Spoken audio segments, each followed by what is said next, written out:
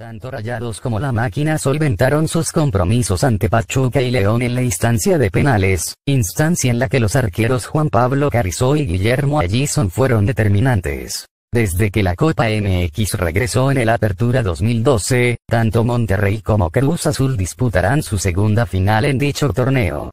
La primera vez que los celestes disputaron la final fue en el Clausura 2013, donde se impusieron en penales al Atlante mientras que Rayados hizo lo propio en el Apertura 2017 y venciendo a Pachuca. En su último enfrentamiento entre estas escuadras, Cruz Azul venció 2 a 1 al Monterrey en el Estadio Azteca, en la jornada 12 del torneo Apertura 2018 de la Liga MX. La gran final de la Copa MX, Apertura 2018 se jugará el miércoles 31 de octubre a las 20:36 horas en el Estadio BBVA Bancomer.